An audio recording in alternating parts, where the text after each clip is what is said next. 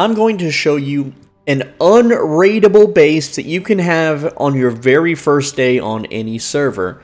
Now, no base is truly unraidable, however, this base is highly uneconomically raidable, as in, in order to get to my treasury room, it's going to cost the aggressors far, far more resources than they will ever gain. Alright, so first off, I'm going to show how the outside looks, okay? Uh, so actually, let me just uh, hide inside the doorway here. Now, let's look at the map first. Okay, I'm down here near the Sulfur Quarry, and this is my zone of influence. This is just a Tier 2 castle. You can see it's Tier 2. These are what Tier 1s look like. This is a Tier 3, and then the one with three spikes is a Tier 4. Alright, just in case you're wondering. Now, uh, I can't expand up here because of this guy, but I've already rated him. He's basically dead. Um, once he, this decays, I can take over up here. Uh, assuming I go to tier 3. I can expand back here as well. And of course, you can't expand on the roads, and this guy I haven't scouted yet, but he might be tough to raid. But uh, either way, that's not what this video is about. The video is mostly about how to make your base unraidable. Alright, so you can. I'm going to explain what honeycombing is, but first let me show you the outside. Let's say I'm the bad guy and I want to peek inside. In this game, people can look through your walls. That's just how it is. Uh, chalk it up to being a vampire, I guess, okay? So, nothing there. You can't really see much. You can see a, a servant coffin over there. What we have? More servant coffins, okay. Remember, I'm pretending to be the bad guy. Again, can't really see anything. I'm tilting my camera. Get some loot here. Cool. you can see it's like, what the hell is going on there? Okay, now we can start seeing some stuff, okay? We got more honeycombs. And what is this honeycomb? Oh, we got we got some we got the treasure room. Okay, well maybe this looks like a pretty dinky, crappy treasure room because it's the, the tier one chests. All right, uh, and there's not a lot of them. So for a raider, they're gonna be like, I don't know, I don't know if I should raid that. And then here we have another little treasure room. This one looks a little bit better. However, this one is just filled with garbage and trash. Okay, and then we have what looks like a garden. Okay, maybe we have an access point in there. And I do want to say for this video, for the purpose of this video, um, let me just kill this wolf, that um, one, like as soon as I hit tier 3, I didn't want to hit tier 3 until I filmed this video. I'm going to basically expand all the way out here. So this air, this will be honeycombed. This entire garden will be honeycombed, okay? If I do get raided, I can always dismantle the, the garden and honeycomb it, assuming for whatever reason I can't get into tier 3. I don't know why I wouldn't. But as an invader, I can see it's just a garden there's really not a lot that looks juicy in this base, right? Also, it's against these stone walls, so you can you can maybe jump over this with a horse possibly, but then you'll be stuck. And there's no real way around the base after that. Yeah, I can go all the way around to the other side, but it has the same thing. It's using uh, these types of geometry, which you can't destroy or remove in the game in order to safeguard the base. So peeking inside, an invader can't really see anything. So that's a nice deterrent. But you see how we have wall, wall, wall. That's called a honeycomb. This is pretty basic in uh, survival multiplayer games. So as an invader, the only way to start raiding a base is to use a stone golem, which is a huge resource investment. You have to break down at least one wall or one door, and for the next 8 minutes you can attack walls and use explosives to bust through walls. But just looking through, it's like, okay, they have to get through two walls and then they're in a empty dirt courtyard with what looks like an alchemy table. That's it. Okay? And again, like looking through here, they can see that I've honeycombed the inserts here, so if they blow these two walls open, they're not just in. They have to get through more. Alright? And again, if you circle around the side here, you can really can't see much, okay? Because again, right here is where it ends. You could use a horse to hop over this, and then if there's a horse here, you can hop over again. But they can't really see into the base other than some really crappy looking uh, treasury rooms, which actually happens to be my main treasury room. And like I said, once I expand to tier 3, they won't be able to see that. So let's go to the interior. Let's say I'm an invader, I bust down the door, the raid begins, okay? There's That's just a horse for me to get around. It's actually a really nice horse, but what, whatever. Okay, wait, no, not that one. That one's not nice. That's two doors they have to bust through. Three doors. Now, mind you, the entire server will be collapsing on them at this point because this is a solo PvP server. Everyone that's online is going to run here and they're going to start fighting the golem. That's just the nature of these types of things, okay? So they bust, let's say they bust through three doors. Okay, now they have to deal with Bort, Steven, and Damien all shooting arrows through these windows. Alright, so that's bad. So now their golem is pretty much toast here.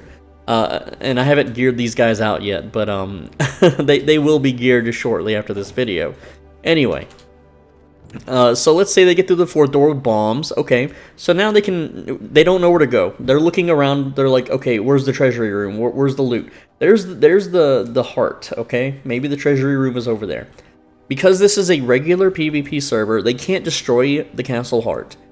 They can't remove it. They can't drain of it of its blood. They can't. You cannot be foundation wiped on regular PvP. Only full loot PvP. For those that don't know the difference, regular PvP means you do not drop your armor or your tools or your weapons. I would, however, drop the, this canteen, the hearts, and these materials. But I wouldn't lose any of my stuff, so I don't get, like, progress wiped, essentially. So let's say they bust through here. Okay, now they're in a big courtyard. Okay, well, where's the treasure? Alright, they're still looking through the walls. They're like, well, we only have, like, a few minutes left unless we summon another golem. Uh, basically, they're just looking at outside honey honeycombing at this point, okay? So it's it's a huge time waste for them. But maybe they do decide to go this way. This this way is just a, a back door to my base. It leads to nothing. Okay, but maybe they choose to go this way, okay? So now they're dealing with Bort again, and once I have uh, a tier 3 castle, I'm going to have servants in every, like, on this side as well, but right now I'm maxed out at, at 5 servants, because again, it's just tier 2 so I can only have five.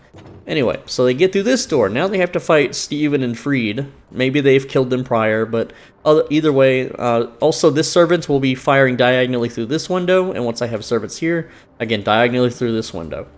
The only mistake that I actually made is these should be outdoor panels, because if it's daytime, they'll be roasted in the sun while in these small rooms, which I can't, I can't remove the floor, so uh, I'm stuck. I'm stuck having an indoor hallway. Okay, they bust through this door. Finally, they can see something. They can see a production room. This is just three sawmills. Not not a big deal. A blood, uh, a blood juicer thing. I forget what it's called right now. It's uh, the blood press. Yes, you gotta press the blood.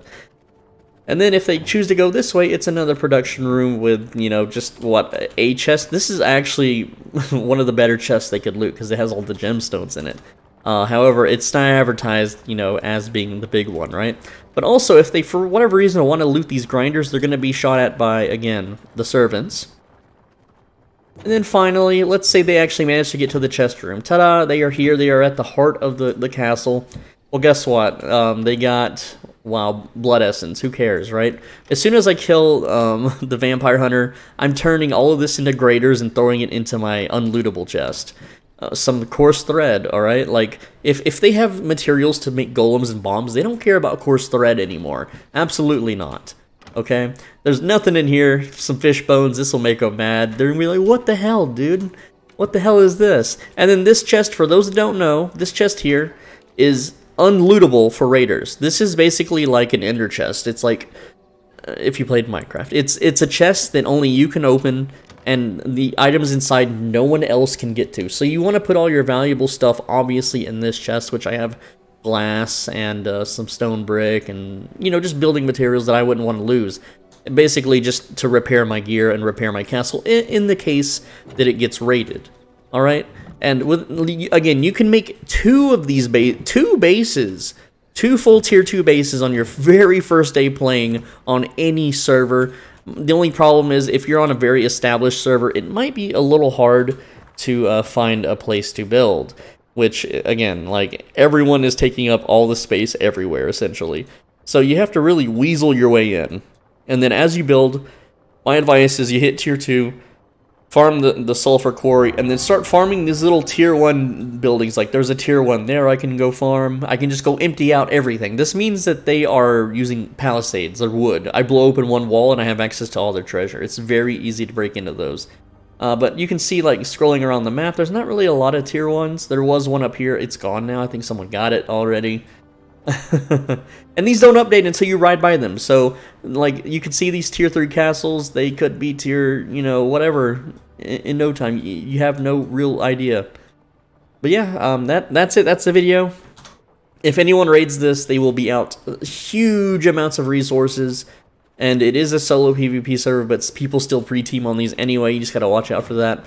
And also, uh, for those uh, that are wondering, like, as long as you act actually log in every five days on a tier 2, it it's actually longer, it's like 10 days on a tier 4, But like I have five days and 12 hours. I can go on like a mini vacation and not touch this game. And I can come back and maybe a few doors might be blown open, maybe a few walls might be gone if someone tried to raid it, but my stuff's pretty much safe. And uh, I have two of these bases day one, so can you, and it's just that easy. Like, this game is very, like, unlike Rust, it's it's very easy to, uh, to to have a nice operating base that you won't lose on a regular PvP server, okay? Full loot PvP, a whole different story. They get to that castle heart, it's like getting to your tool chest in Rust. They basically can just delete your entire base once they reach that. So this video is only viable for regular PvP servers, not full loot PvP. Anyway, guys, I'm Swole Benji. Thanks for watching. As always, be a bro and stay soul. Thank you for hanging out with me today. Let me know in the comments what you were doing while you were watching or listening to this video. I, am curious, like, were you eating food? Were you playing the game? What were you playing? What were you doing? And uh, also, leave a like. Come on, just click that like button. It really helps out, man. I, I need all the help I can get, please. And uh, make sure you leave some comments. Comment on other people's comments. Don't just talk to me. I read every comment, so if you want to talk to me, that's fine. And also, hit that thanks button down below if you want to give me a tip, a monetary real life money tip. I would appreciate it very much. And if you want to really help out, you can become a channel member. It's five bucks a month. It's like being a Twitch subscriber. And it, it, it super helps out. You get personal, more private videos. You get access to videos that other people can't see. So it's like being in an exclusive club. You get little emojis that you unlock that you can use in comments and stuff. It's pretty cool. Guys, I appreciate you so much. I make videos every day on this channel, by the way.